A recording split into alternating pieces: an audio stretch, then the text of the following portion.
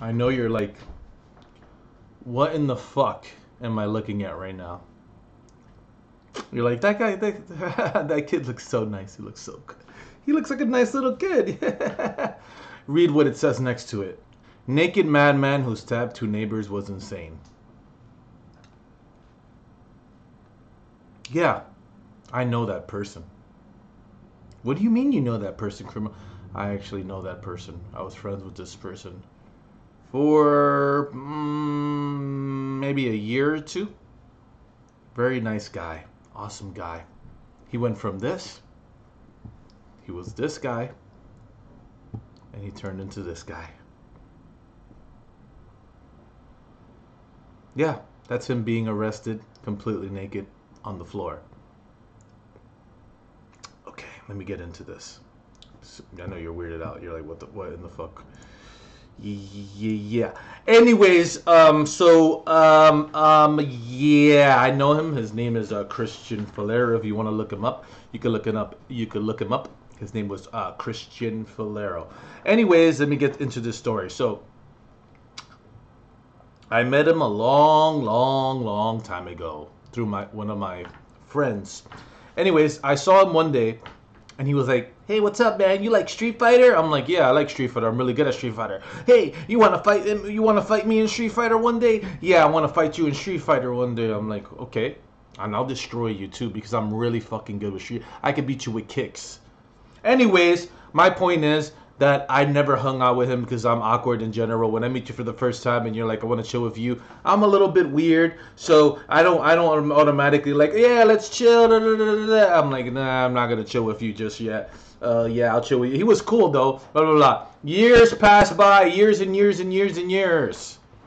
I see him again. He has his head shaved. He had long hair and he's like, "Oh yeah, this is my friend Christian," and I'm like, "Oh, that's cool. Nice to meet you, my my friend. You're cool." So let me just run through this real quick.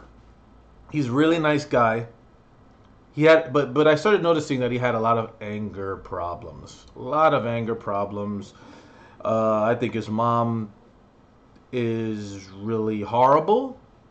Uh, always screamed at him every single day, treated him like garbage he didn't really grow up too well. I don't think he had too much of a connection with his dad either. His dad lives completely somewhere else, and at home it looked like he was treated really badly. So uh, he was just kind of an odd guy, very angry, extremely homophobic out of nowhere. I tried to make him feel better because I would always be like, "Can I suck your dick or what?" One day he even asked me, he's like, "Yo, criminal, why the hell aren't you like?" You know, like homophobic and stuff. Like, why are you okay with gay people? I'm like, because why shouldn't I be okay with them? I should be okay with anyone in the world. There's no one's an issue. No one's bothering me as long as you're not killing anyone or trying to make people feel bad. Blah blah blah blah. That's all that matters in the world. So I, he was starting to learn. He was starting to get like a better person. And then one day, I just started to see that he only gives a shit about himself. Like his his personality was dumb. He was very very very narcissistic. Kind of like low tier God. I don't know if you know who low tier God God is. Look him up. Low tier God literally thinks he is like an actual God. Like he's so um, like I'm so I'm such a handsome guy and all this. Like he he he acts like he is, but in reality, usually when guys are like that, they're usually extremely insecure. Obviously, the people that focus the most on their looks are the most insecure. Let me give you that hint right there, just so if you didn't know that. Uh, you're like, well, how is that possible? Trust me. Anyways, um, but uh, yeah, so basically, he had like he was just very narcissistic, very vain. Uh, he literally, even when we were on AIM, one of his names were the Perfectionist, and it was spelled the Perfect Ten, but it also looked like the Perfectionist. So he thought he he, he gave this. He's like, oh, I'm macho. I am, and then I started to see that as as time went on. Like I love the guy, really cool guy, but as time went on, he just started to it just he only cared about himself so much. And he wasn't a nice person like I would go to his house. He wouldn't even offer me water or food or anything. And I'm like, what are you, a fucking animal? But maybe his parents didn't raise him correctly. Like I said, all you would hear is his mom screaming all the fucking time. Uh, that's a whole nother scenario. Uh, not a good single mom, but uh, moving on. and his brother was really cool. I love him. I'm not gonna say his name, but his brother was actually really cool. Anyways, but uh, basically what happened is one day I stopped being his friend. My me my me and my friend uh, we used to chill with him all the time. And one day K-Burn stopped chilling with him because he didn't think he was a good friend. And then one day I stopped chilling with him. I forgot exactly why I stopped chilling with him. But at the same time, I'm like, maybe this is a good thing. But I stopped chilling with him. Three months later, down the line, I'm like, you know what? I want to forgive this guy and I want to be friends with him again. Okay? Sorry, I have OCD. I keep touching my hat. Anyways, I wanted to. I want to forgive him and be friends with him again. So I'm in my friend's house, and we're all there, like three or four of us that really know him really well, and we're te- we're texting him on AIM. It's this thing, you know, back then, whatever, on AIM chat, whatever. And he and we're like, oh yeah, I really want to be cool with you again. I told him, and I said, I really want to hang out with you and stuff. You want to come out here and meet us? And he was acting extremely strange. In the chat, he was writing to us, oh, I don't like to go outside. There's too many people outside, and uh, I'm a little bit paranoid. And in my head, I was like, this guy's acting really weird. But then there was one sentence that this guy wrote that didn't sit well with me. And I knew it didn't sit well with me for the actions that happened later on, which he wrote, Hey, you guys should come to my house so I can save you. Save you. Do you know what save you means? Not only did this guy start to go crazy, but when you mix crazy with religion, oh boy, oh boy, oh boy, that's not good. When you start reading the Bible and you start going fucking crazy in your brain, you might just do some crazy shit. That's what I think. Uh, yeah, that's not a good mix. But anyways, um, there's a lot of weird shit in the Bible about sacrifice and stuff like that. So that's why I'm saying that sometimes it could, like, if you're crazy, the Bible, I don't think that's gonna help you out. But anyways, um, the point is, he said he wants to save us. You know what that means? He wants to kill us, obviously. That's the that's in his head. He probably thinks he by killing us, he would probably save us, whatever the case. But I didn't know it at the time. I just thought it was weird when he said that. Then two weeks later or so, the earthquake happened in New York City, which I never felt, but they say there's an earthquake that happened. Whatever. There's an earthquake that happened. I didn't feel it. Probably a really small earthquake. Earthquake happened. Never felt it. Then I get a call from my friend, and uh, he tells me uh, Chris Christian has uh, went on a killing spree, and he killed a few people, and he went on a stabbing spree, whatever. And I thought he was a joke. I didn't even believe him. I'm like, yeah, right. Shut the hell up. He's like, I'm not kidding. Blah blah blah blah. And then I was like, get out of here. The only reason I didn't believe the person that I was talking to is because he's known to lie all the time. He thinks lying is a, is a big joke. Let me lie about everything. So, uh, you know, obviously, I'm not going to just believe anything you fucking say because this is the type of shit you say every day. The other day, this guy probably called me and said, uh, my mother sucked his cock. Actually, that was probably true because I probably paid her to do it to him. Because instead of her, him paying me to have my mom suck his dick, I usually pay my mom so he can suck she can suck his dick because I usually record it and put it on Pornhub. But besides all of that, um, I literally uh, looked up on the news myself. I'm like, let me see if this is true. I looked up his name, and there he was. Like you saw that picture I showed of you, him in the handcuffs, naked. I'm like, what in the fuck? So basically, what happened was this motherfucker. But basically, what had happened was, anyways, like you know, the ghetto people say. It was basically what happened uh, was that he woke up and supposedly he thought the world was ending because they i don't know if he felt the earthquake or they told him there was an earthquake but that triggered something in his brain. Now i don't know if he was on angel dust or not. Supposedly the reports say he was on angel dust which makes even more sense why he would go crazy but i don't even think he was on angel dust. I think he just lost his fucking mind. Its mind went click. Anyone's mind could go click if you think your mind can go click, well, you're very dumb. Okay? Um, you're pretty ignorant to psychology, is all I gotta say. But, anyways, um, so basically, what happened in his brain is he went crazy. He proceeded to go downstairs knocking on everyone's door. This is what happened. Like, ah, open the door, the world's ending. He thought the world was ending.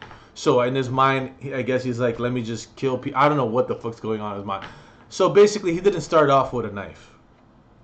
Opened, someone opened the door to him because they knew him. He went inside, started hitting people.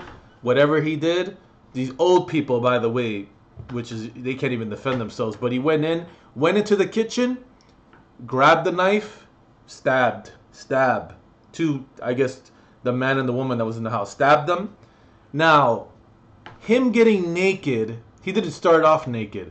This is exactly why I think he got naked. He started panicking to the point where, he, when he was stabbing these people or whatever, he saw blood on his clothing. So he probably was like, "Ah, oh, I gotta take off my clothes." Ah, so he, t- he took off his clothes, all his clothes off, and then he was just naked, running around. Went to the next person's door, stabbed them, stabbed them, whatever. I think he stabbed about four people, and I think he killed three. I believe some. I guess uh, they were all old people too. This guy ruined a lot of people's lives and families. Just talking about it makes me sick to my stomach. Anyways, um, yeah, he did all that. Um, then, when he finished stabbing the people on the third or second floor, whatever the case is, he went down the stairs. He ran into some pregnant girl, and he just like punched her and kicked her or something. Thank God he didn't kill her at the very least. Ran outside, ran outside naked. My friend came. My friend K Burn's mom actually saw him naked and was like, "What are you doing? What the fuck are you doing?" And he just kept running, and he's, it is like, "What the fuck?" And she she saw the whole thing. So basically, he ran outside screaming, "I want to kill myself!" Sat in the corner while the cops were looking at him. He proceeded to carve his chest with a knife, just carving his chest with a knife. I don't know. And he told the cops to please kill him, like, kill me, kill me, please kill me. This is what the mom said that saw him that he was screaming like please just end my life kill me kill me. So then they ended up you know putting him in um, handcuffs and uh, they took him to jail which he's in jail i give I, I think he's in jail for life to be honest and that's good. I don't think he should be out. In fact uh, this might sound harsh i don't know to who this would sound harsh to but you know there are idiots out there I feel like I wish instead of going on that killing rampage, I wish he would have just jumped out the window and he would have taken his own life instead of killing, you know, innocent people.